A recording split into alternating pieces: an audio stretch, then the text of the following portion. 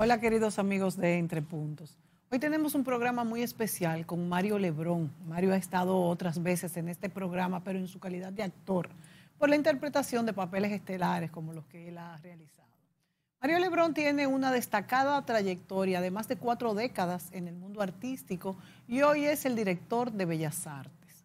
Mario tiene mucho que contar sobre experiencias y ahora sobre su responsabilidad con el país, ¿verdad? Con los artistas frente a una institución tan importante como es Bellas Artes. Mario Lebrón, bienvenido. Gracias, Mónica, gracias por invitarme y un placer siempre venir a tu programa. Para mí es un placer, Mario. Realmente tú que vienes de una familia donde el arte y la cultura eran el plato fuerte, ¿verdad? Tu padre, don Mariano Lebrón Samillón, fue un médico destacado además de que fue fundador de varias instituciones que tenían que ver con la cultura, con la dominicanidad científico, porque era médico, ¿verdad? Fue también Premio Nacional de la Literatura, entre otros galardones. Entonces yo te pregunto, Mario, para comenzar este programa, dentro de ese entorno, ¿cuándo te inicias tú en el mundo del arte? ¿Qué fue lo que, que esa chispa que te hizo introducirte en este mundo que es muy bello, pero también a veces es un poco difícil? Es difícil, es muy difícil. Bueno, como tú lo has dicho, en mi casa yo disfruté desde niño, desde que nací, de oír música clásica. Los hermanos Ravelo iban a mi casa a oír música, de oír poetas, Antonio Fernández Spencer y otros. Mismo Pedro Mí llegó a estar en mi casa. Yo era un niño, no entendía, no, no, pero ellos estaban ahí, yo en una esquina pues jugando carritos y soldaditos, pero estaba oyendo, estaba en ese mundo. Y recuerdo que me llamaba mucho la atención la actuación, porque yo recuerdo series de televisión de las de entonces. Y estoy hablando de los 50, finales de los 50, principios de los 60. Y yo decía, oye, yo quiero hacer eso. Yo veía a un actor haciendo en esto un personaje y en otra película otro personaje. O sea que de chiquito sí te, te llamaba la atención. Toda la vida. Y es en el 67, 1967, que veo mi primera obra de teatro en Bellas Artes, casualmente, que era el gran teatro nuestro. Y era casualmente la Compañía Nacional de Teatro, Los Intereses Creados. Mi papá me lleva a ver esta obra y yo ahí ya quedé definitivamente contagiado. ¿Qué edad tenías? Yo tenía 11 años. Wow, bastante chiquito. Sí, yo tenía 11 años. Entonces era, no había tanto teatro, no había tantas posibilidades como ahora. Ahora un niño ya pequeño puede ir al teatro, entonces no había tanta oferta. Y después se viene la compañía de teatro María Guerrero de Madrid en el 68 con, una, con un repertorio de seis o siete obras que fuimos a verlas todas.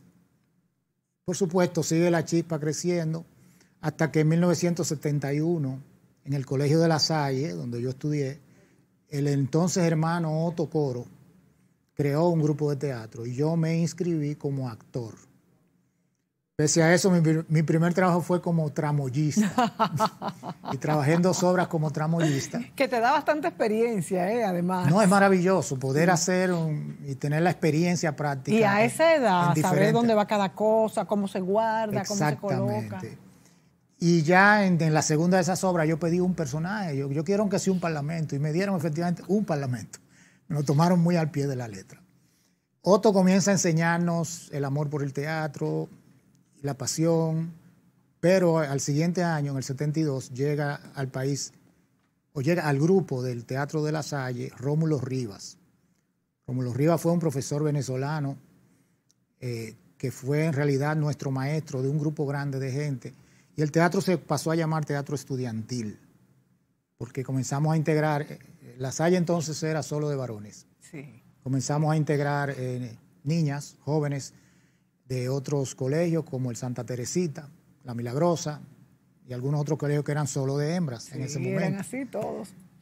Y con Rómulo realmente tuvimos una escuela real, con disciplina, con materia, con, con, con unas explicaciones, con entendimiento, tanto en teoría como en práctica. y ese es realmente el maestro.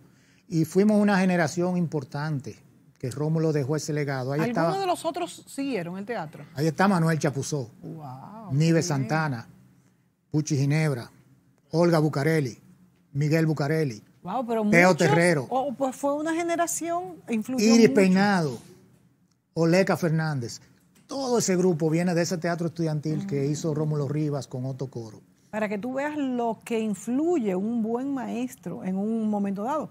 Porque fíjate que mientras tú hablabas, yo te iba a decir que el teatro tuvo como un boom y tal parece que fue impulsado por personajes como este profesor y que luego tuvo como una caída y creo que se está como otra vez, eh, como que hay muchos muchachos que se están entrando al teatro y demás. ¿Cómo tú describirías, eh, vamos a decir, eh, el vaivén del teatro en, en, la capital y en el país?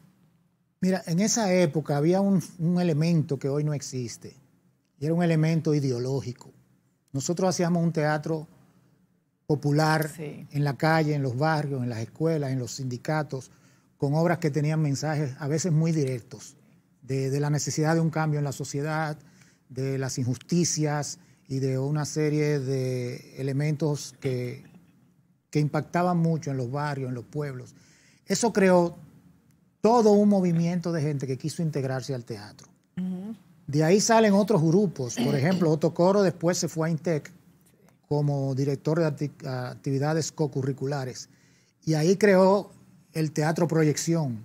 Y del Teatro Proyección sale eh, Claudio Rivera, de Guloya, y, Viena González. Y de ahí salen otros actores como Lubilo González, como Fausto Rojas, y otros actores que vienen de todo, de resultados de todo eso. De ese grupo también estaba eh, Ángel Mejía, eh, Basilio Nova y todo un grupo de la gente que se han mantenido. Sí, de mi generación y la que vinieron después. Llega un momento en que ya uno ve que cumplió como una etapa con este teatro popular que no nos dejaba ingresos, era simplemente la voluntad. Había esa argamasa que los unía y era la ideología. Era la ideología influye mucho por y ya vivimos otro mundo totalmente distinto. Incluso aunque hay eh, toda esta violencia y siguen habiendo muchas injusticias, pero hay mucho menos que antes. O sea, ya no se necesita tanto. Fíjate que desde, desde la creación de la patria hubo un teatro contestatario, que cada vez, aunque hay, sigue habiéndolo, pero yo diría que no es tan necesario, aunque sigue habiéndolo y quizás hasta más, porque a nivel universal hay muchísimo teatro contestatario pero como que la sociedad, como que se, ya hay otros tipos de teatros. Sí, no, y uno va descubriendo con la madurez eh, y con todo el avance de la tecnología, con todas las formas de difusión que existen hoy, uno va descubriendo otras inquietudes. Y uno dice, bueno, los jóvenes de ahora que busquen también la fórmula para llevar las ideas. En mi caso personal, yo trato de encontrar obras de teatro que digan algo, que tengan un mensaje, que dejen una reflexión Así obras, incluso comedias, como El fabricante de deudas, como el método Gronholm, en las que yo he trabajado como actor o director, eh, entendemos que son comedias que tienen que dejar un mensaje y una reflexión sobre algo que está pasando en nuestra sociedad y que debe revisarse. y que se puede hacer algo con buena actuación, divertido si es de corte de comedia, eh, reflexivo si es de, reflexionar y que deje un mensaje, puede hacerse. Es que el arte debe divertir. No, definitivamente. O sea, tiene que divertir y tú tienes que aprender y lograr llevar el mensaje que quieres llevar, los que queremos llevar mensaje, porque hay un teatro también ligero que no está mal, que yo no, que, yo entiendo que es, parte de la vida. son como las series, las series de ahora que te envician y son y un capítulo y otro capítulo. De hecho, yo me propuse no ver ninguna más, porque a menos que no sean de tres o diez capítulos máximo, porque es que no da el tiempo y a veces no tiene, por ejemplo, aquel El Gran Hotel, que me lo tiré enterito, dicho sea de Siete temporadas. Que no te dice nada, pero te envicia y tú quieres saber qué va a pasar. Sin embargo, ves otro, eh, hay otras también que te siguen interesando así. Eh, esta de la Guerra Civil Española, tan buena, que tenía como 12 temporadas, Tiempo entre costuras. Tiempo entre pero que ya eso tiene una enseñanza y es lo que tú dices del teatro, es lo mismo. Es lo mismo. No es lo mismo ver una obra que te va a dejar una enseñanza y te va a, y te va a enseñar incluso de manera un poco novelada. Eh. y hay también un detalle como de dinero. O sea, todavía vivir como un actor es muy difícil en nuestra sociedad. Sí. Hay personas que lo logran e incluso Hay personas que lo logran eh, no traicionándose, porque no me gusta la palabra, sino variando la línea de pensamiento que tenía antes. Tengo amigos que hoy se dedican a un teatro muy, muy ligero porque les deja dinero y porque tienen que sobrevivir y porque no tienen otra cosa de que vivir. En el caso mío, pues yo me dediqué a, hacer negocios, a hacer un, un negocio de venta, de representaciones, y vivía de eso. Entonces el teatro pasaba a ser un hobby, pero un hobby muy serio. Y podías hacer lo que te gustaba hacer en teatro. Exactamente, y me puedo dar ese lujo de decir esto sí, esto no, esto sí, esto no. Entonces, eh, tengo de todas formas que decir que hoy en día es maravilloso cómo tanto y tanto joven está interesado en formarse, en estudiar, incluso estudiar fuera del país, para ser actores buenos y con, con, técnica y con conocimiento. Eso es otro, otra etapa también del teatro. Estas universidades ya eh, americanas y del mundo que ya te forman en esta disciplina. Sí, y siempre entendiendo que el audiovisual será un recurso y que tú puedes jugar entre el teatro y el cine teatro y la serie de televisión, el teatro y, otros medios audiovisuales. Alguien me decía en estos días, no recuerdo quién era, y hago un símil, que el radio en nuestro país, esa, esa, ese pequeño transmisor que se usó todavía quizás no habíamos nosotros nacido, eh, cuando el campesino comenzó a escuchar radio, hizo que muchos campesinos vinieran a la ciudad, porque es conocer una realidad que no conocen, aunque esto no es visual, sino nada más audio, pero son realidades. Y te hago el símil porque son realidades que el público ve y te deja un mensaje y te acerca a otras realidades. Ahora con este teatro, estos actores que estudian fuera, que vienen con técnicas eh, y guiones, eh, es otro teatro al que quizás tú comenzaste a hacer. Bueno, yo lo que pasa es que me he ido adaptando al nuevo teatro. claro, no, me y has actualizado. Me he actualizado, no me quedé. Y así la mayoría de, de todo este grupo que yo te mencioné, de esta generación mía, incluso en una generación anterior que todavía tenemos ahí a un Iván García, a un Augusto Feria. Que siguen siendo tan buenos como antes. Que siguen siendo grandes actores. Y no hay remedio, hay que adaptarse a, los tiempos, usar mucho la tecnología a su favor. Y sí, si tú no lo haces, estos jóvenes tienen la suerte, como les digo yo, de que nacieron con un mundo distinto. Lo primero es que ya hoy muchos padres de todas las clases sociales aceptan que tú estudies arte como una profesión. Sí, eso sí es verdad, porque antes no. No, no, no. Antes no. Era un escándalo y casi todos tuvimos dificultades. ¿Tú tuviste dificultad siendo tu papá, como quien dice, un artista por, o, un intelectual? Sí, porque tenía también a mi mamá.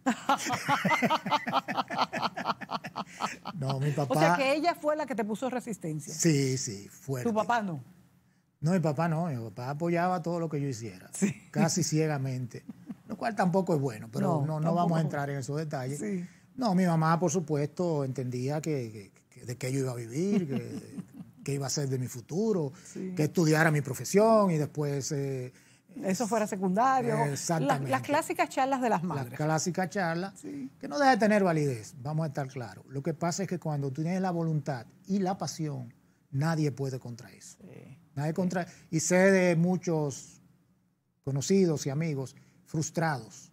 Frustrados porque, no lo hicieron. Porque no lo pudieron hacer. Claro. Incluso yo digo que cuando me gradué de bachiller en 1973, debí haberme ido del país a estudiar actuación, porque era realmente mi verdadera vocación.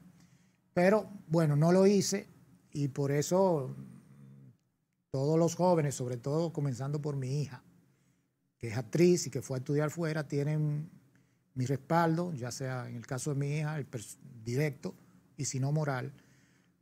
Y por suerte ya hay tantas formas de expresión, tantas formas de, difusión, que hay mucha gente que entre el cine, el teatro, algunos complementan un poco con locución, maestría de ceremonia, con cosas que son un poco sí, es verdad, ya hay más brechitas. Sí, ya hay más personas que están realmente viviendo de su talento como actor o algo similar. Mira cómo tu hija heredó ese talento tuyo y esa inclinación. Bueno, y fíjate, Mario, cómo pienso que esto, este, esta misma pasión tuya por la actuación y de entrarte en este mundo del arte te ha hecho ser hoy el director de Bellas Artes. O sea que te dio un background y un conocimiento de todo lo que es esto. ¿Cómo, cómo llegas a Bellas Artes? ¿Qué te encuentras? Bueno, ahí tenemos tanto de qué hablar. ¿Hasta qué hora es este programa? los muchachos trajeron la picadera. bueno, mira, sí, tiene que ver, por supuesto, mi, mi trayectoria en el arte, no solamente como actor, sino director, como una persona involucrada en la cultura vía las relaciones de mi papá y con mi papá. Eh, escribo algo, aunque nunca he publicado, pero escribo cuento y poesía. He sido maestro de ceremonia. En todo el tiempo que mi papá estuvo como presidente de la Academia de la Lengua, fueron 18 años, yo hice maestría de ceremonia muy frecuentemente en la Academia de la Lengua. He tenido programas de radio. estuve participando en un programa de televisión haciendo comedia en televisión. ¡Wow! ¡Qué bien! Con Soraya María. Sí. Entonces, eso, claro, crea un background. Eh, soy director también. Y A ver si me traes algunas grafiquitas de esa para ponerla ahí. correcto. Y he estado también en, en cine, en ya unas 25 películas. Desde el 87, 88 estoy haciendo cine. No, perdón, del 92. Entonces, no, doña Carmen me llama un día para participar en el Frente Cultural de apoyo al presidente Luis Abinader y yo pues feliz acepté. Estaban ahí ella, Tony Raful y otro grupo de personalidades y me integré y bueno, doña Carmen, entre doña Carmen, Tony Raful, Giovanni Cruz, eh, como una vez ya el triunfo era seguro, ya estaba oficializado, estaban barajando nombres, me consideraron a mí para Bellas Artes y yo acepté. Pero fíjate, Mónica, que es que dirigir Bellas Artes como una entidad desconcentrada financieramente, y explico un poquito, Bellas Artes maneja su propio presupuesto, aunque es una dependencia del ministerio. Necesita también, además del artista, necesita el gerente. De modo que mi background en, el área eh, de negocios, en el área de la industria, yo trabajé en bancas. ¿Sabes cómo administrar el dinerito? No solamente administrar el dinerito, manejo de personal, manejo de todo el proceso de relaciones con el Estado que es burocrático y que para un artista es terrible. Son artistas que solamente es artista, eso es terrible. Mm que un papel, que para esto hay que hacer un papel. Los artistas generalmente no dan para eso. Entonces, pero tú tienes la, es la combinación de la sensibilidad del artista, experiencia. el conocimiento básico, básico de todas las bellas artes que manejamos allá. Digo básico, tengo nociones de lo que es la danza, tengo nociones de lo que es la pintura. No soy un experto. Lo mío es el teatro y la actuación y, y el cine. Pero es la combinación de las dos cosas la que dice, bueno, Mario Lebrón eh, puede dirigir Bellas Artes. Y estamos haciendo lo mejor que podemos. Bueno, hay muchísimas cosas que queremos ver de Bellas Artes, pero vámonos, nos vamos a ir a la pausa antes para ver todo lo que engloba, porque tú sabes que no hay mucha gente que sabe lo que es Bellas Artes, pero antes de irnos a la pausa, eh, te pregunto, ¿cuándo se descentraliza Bellas Artes y si eso es bueno o es malo? aclaro el término desde el punto de vista del Estado, no se descentraliza, se desconcentra. La descentralización es una independencia prácticamente total del ministerio. La desconcentración es solamente en el manejo de los recursos del presupuesto. En enero del 19, la orden salió a finales del 18, pero se oficializa, sale el decreto del presidente en enero del 19 yo entiendo que, se, que, se, que vale la pena. Yo entiendo que es válida la desconcentración si tenemos el presupuesto que nos corresponde. Entonces creo que... ¿Es autosostenible Bellas Artes? No, autosostenible no es. No.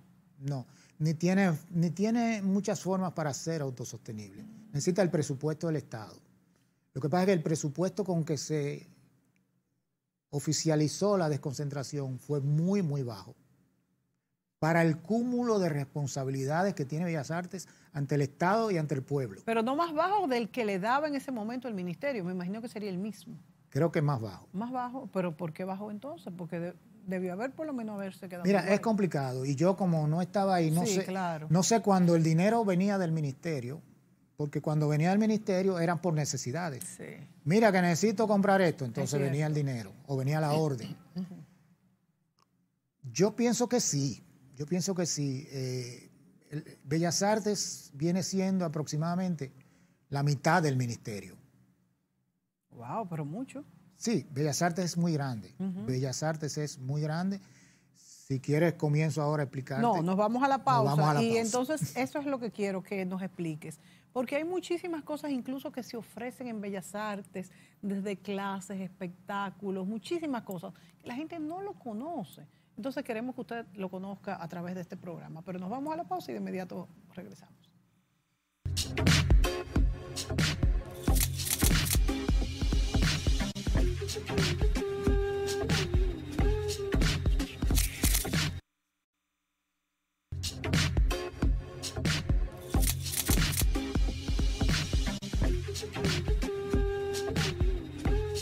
Mario Lebrón, actor, director del Palacio de Bellas Artes, nos acompaña en este, en este programa.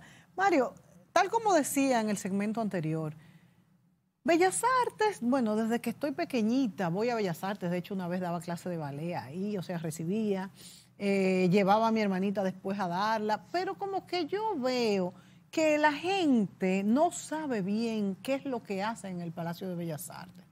A ver si tú nos lo explicas un poco. Y, en el interior tiene, eh, se replican estas pequeñas estructuras. Vamos a ver, vamos a conocer más. Lo primero que quiero corregirte algo.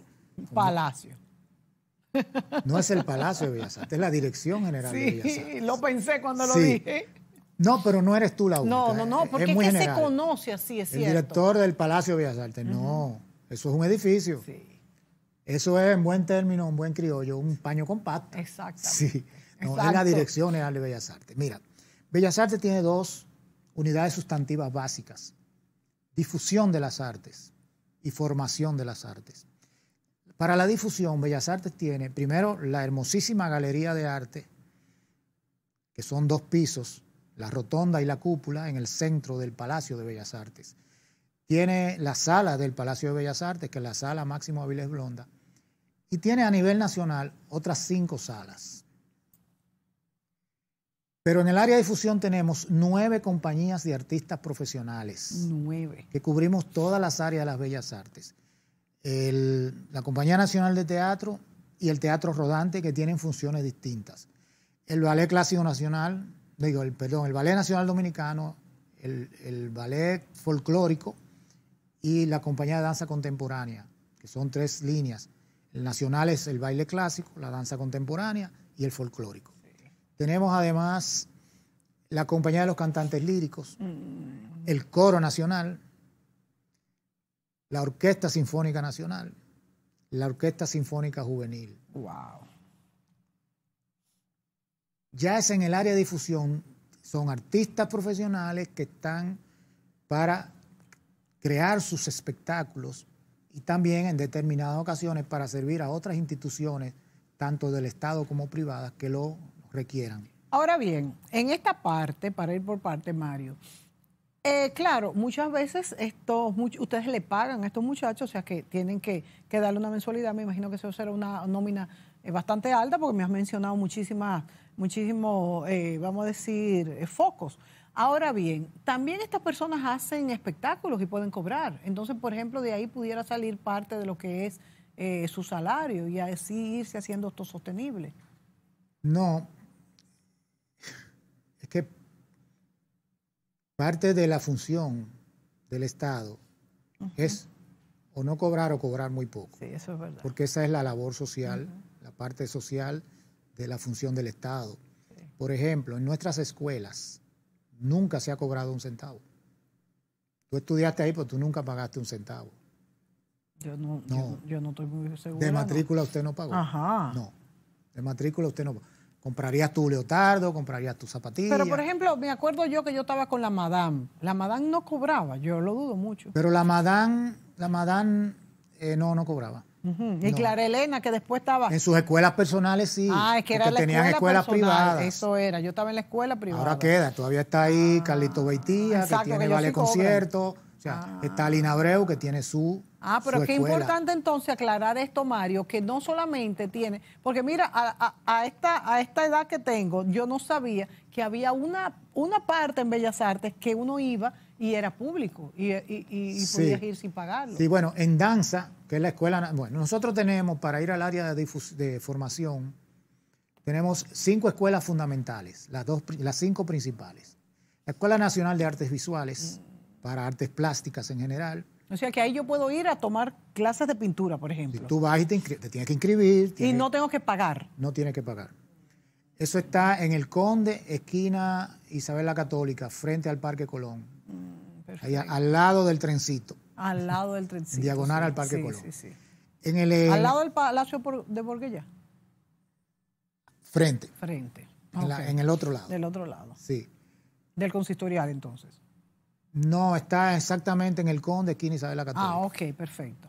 Frente al, al- al Colegio Nacional de Artistas Plásticos Sí, y al sí, Colegio de Abogados, creo que está ahí también. Entonces, tenemos nuestra Conservatorio Nacional de Música. Esa es la escuela superior de música de este país, de donde han salido todos nuestros grandes Sí, músicos, sí, que está en el Parque Iberoamericano dentro. Y Entonces fuera es parte de Bellas Artes. es de Bellas Artes.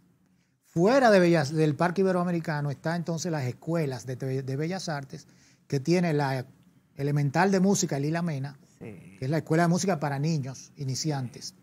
Tenemos ahí también la Escuela Nacional de Danza, que es la Indanza, y la Escuela Nacional de Arte Dramático. De estas cinco escuelas se desprenden a nivel nacional mm, 14 escuelas multidisciplinarias y otras 18, 19 academias de música en todo el país. Oye, pero es una cantidad, es un monstruo. Sí. Y todo esto es gratuito. Sí, Uh, o sea que necesita muchos fondos. sí, sí, sí. Las clases son completamente gratis. Wow. Últimamente hemos comenzado un experimento, un piloto de talleres, no clases formales, sino talleres para adultos. Sabes que siempre uno ya, después que uno le salen las canas, dice, me gustaría pintar, Ay, sí, eso es muy sí, me gustaría tocar guitarra. Entonces estamos dando talleres para adultos y lo que estamos pidiendo es colaboración. Mira, necesitamos papel higiénico, necesitamos un archivo, necesitamos un, un- ¿Y en específicamente en qué lugares están haciendo estas, No, este piloto se comenzó en Santo Domingo Este. En Santo Domingo Este tenemos una escuela muy buena que es completa, tiene todas las disciplinas. Y eso ahí se está replicando ahora en Cotuí. En Cotuí que también la escuela anda muy bien. Hay muchas de estas escuelas que andan precariamente, muy precariamente, por razones básicamente económicas. Y la pandemia, me imagino que ha afectado mucho. La pandemia nos hizo perder más de mil alumnos. alumnos de la matrícula. ¿Cuánto es la matrícula de, de- de Bellas Artes o cuánto era antes de, Estamos en 5.300 más o menos. antes de la a pandemia? nivel nacional. ¿Y cuántos han perdido más o menos? Bueno, Bueno, es que imagínate, estamos se ha ahora, todo. estamos ahora en proceso de inscripción y estoy esperando el dato final en una o dos semanas, pero llegamos a bajar aproximadamente en, en tiempo de clases virtuales, yo digo entre comillas porque es muy difícil. Claro, el arte. el arte virtualmente. es muy difícil. Además de que muchos de nuestros alumnos que vienen de escasos recursos no, no tienen la computadora, O no o tienen no, el o internet. no tienen el internet, o no tienen un espacio donde concentrarse, porque viven en barrios un poco hacinados y esto. Eh, pero se estuvo dando clase y bajó cerca de 3.500. Ah, Más o menos la mitad. Sí, un poquito menos de la mitad bajó. Pero estamos ahora en proceso de reinscripción ya con la idea de dar clases combinadas entre virtuales. Las partes más teóricas pueden ser virtuales, pero ¿cómo tú le das a una niña, tú que estudiaste danza, Claro, imposible. una Ballet posición Es muy difícil. por internet? Quizás se podría mantener por unos meses para que no pierdan el interés más bien. Pero hasta la práctica la van a perder, es muy Totalmente, difícil. Nos totalmente. vamos a ir a la pausa, Mario, y cuando volvamos a ver entonces nuevos planes que ustedes tengan. De hecho, ya esto es nuevo, esto de la clase de adultos, que me ha encantado, porque no solamente es lo que va a aprender el individuo, es que también esto hace votar muchas presiones sociales, políticas, hasta económicas, porque esto es algo gratuito. Entonces, el que le quebró un negocio y tiene, tiene su cabeza llena de preocupaciones, pues puede votar ahí algo, de, algo de la, del estrés. En lo que pasa esta situación pandémica, volvemos de inmediato.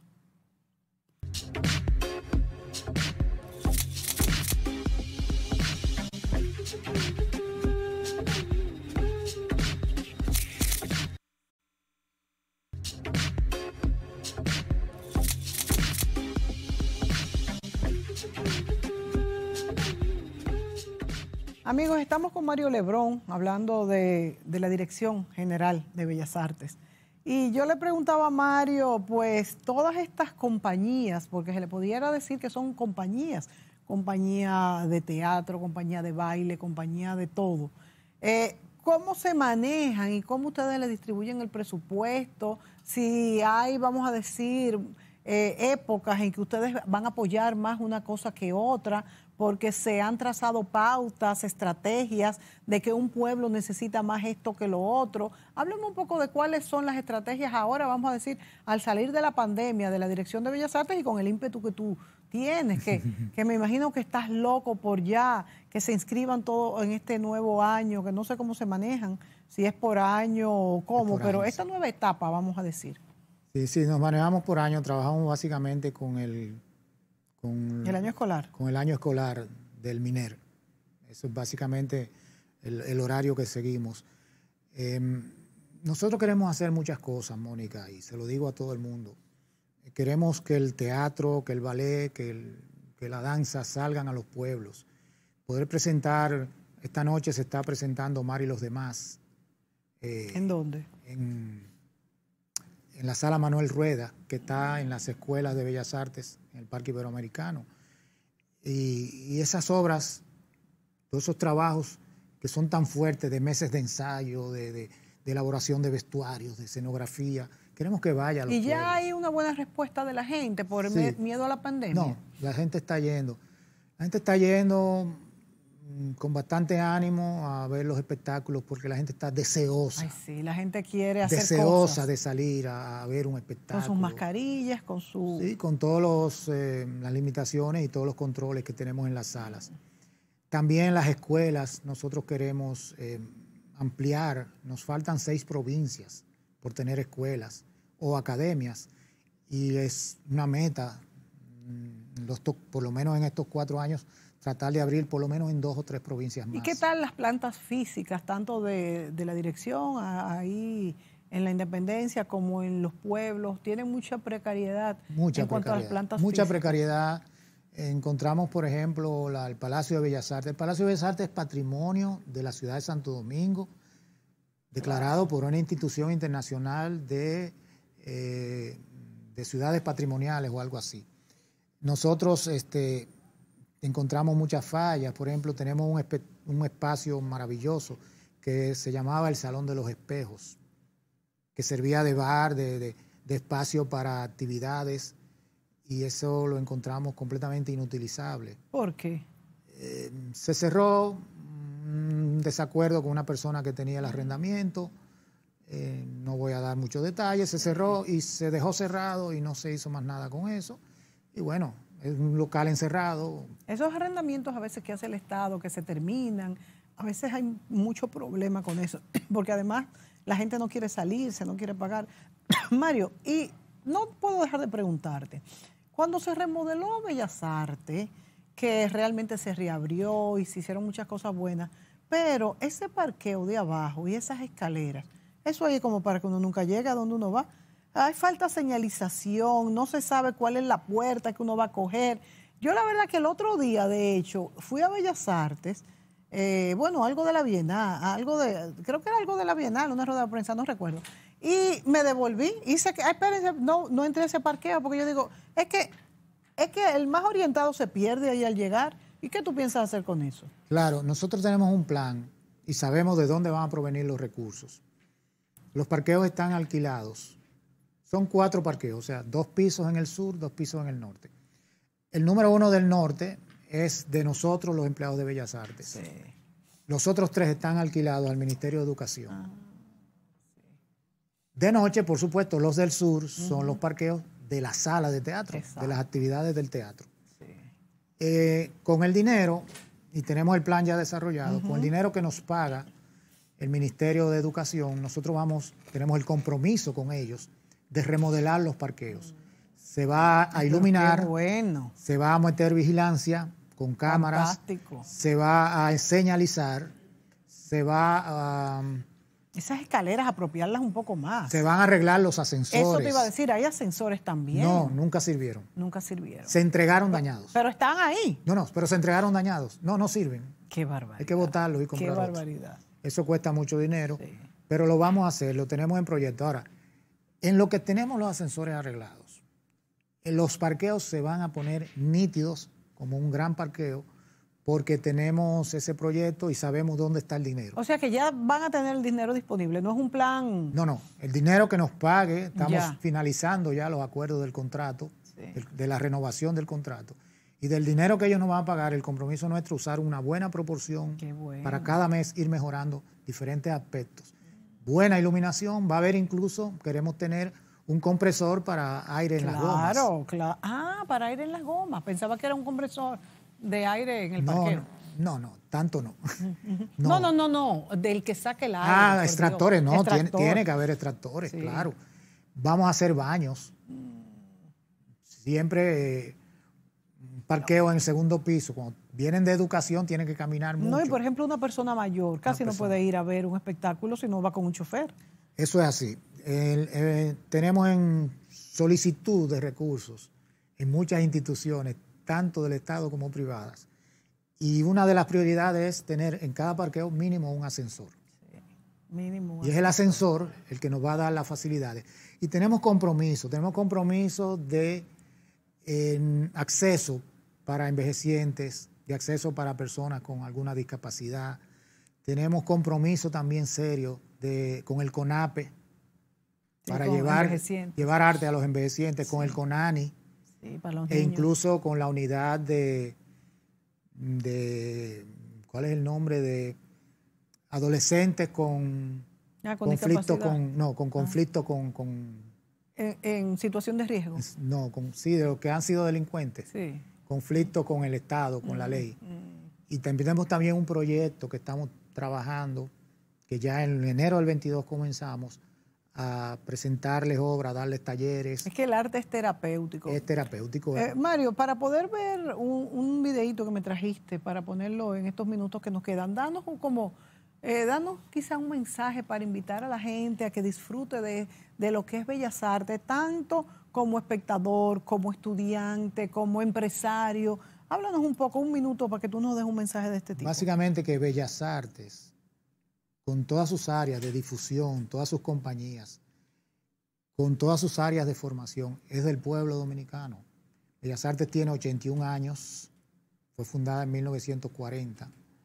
Tiene instituciones tan antiguas como la Orquesta Sinfónica Nacional, que es del 41. ¿Ustedes piensan hacer más shows ya este 2022? ¿Tienen algún programa ya de Bueno, todas eh, las actividades que, que No, ahora en el hacer? 21 queremos terminar con un gran, una gran feria de arte en Navidad. Tres días de, de puro arte en Navidad. Eso es Eso un- una primicia que estoy dándote a ti en los jardines. Uy, qué Vamos a hacer un verdadero festival de arte. Fantástico. Y tenemos, sí, del año que viene, eh, si logramos tener un presupuesto un poco mejor que el que manejamos este año, que ha sido de... Por culpa de la pandemia, Claro, básicamente. No se podía hacer más. Sí, por culpa de la pandemia y entendemos que el Estado tiene una gran responsabilidad en salud educación. Prioridades. Sí, pero la prioridad, el est- el- la cultura no debe dejar de ser una prioridad. La cultura es lo que identifica a un pueblo, lo que le da identidad. Y la cultura ya va siendo un factor importante en el, proder- en el Producto Interno Bruto. Sí, señor. Entonces la cultura no debe dejar de ser una La, prioridad. la cultura no solamente tiene un retorno eh, espiritual y emotivo, sino material. Mm. Ya tiene- Deja dinero, ya señores. tiene y una lo, ha- importancia. lo está haciendo en muchos países del mundo. Nosotros tenemos que, que entrar en esa, en, es- en esa filita y más que somos la ciudad privada de América. Y algo más, la cultura es uno de los tres gran- renglones más importantes de las relaciones exteriores de los países. Exactamente. Eso no es aquí. Eso que nos da cohesión, cohesión social y, diplomática internacional. Así que yo lo que le digo a la gente, busquen la actividad de Bellas Artes, tenemos nuestras redes, Facebook, Instagram, tenemos nuestra página web. Y ahí están todas las actividades. Ahí ponemos todas las actividades, las anunciamos. Eh, y queremos que la gente vaya a ver. La bueno, vamos a pedir entonces el video que ya está en Q. Y que los que tengan hijos con vocación artística, que los dejen desarrollarse. Ay, sí, eso es muy importante y además el mundo ha cambiado. ¿eh? Esas profesiones ahora quizás pueden dejar más dinero que aquellas que eran clásicas en su momento. Mario, gracias por... No, gracias a ti, a ti, gracias a todos por estar ahí sentados. Y vamos a dejarle el video de Mario de este primer año de gestión de Bellas Artes. Adelante, director.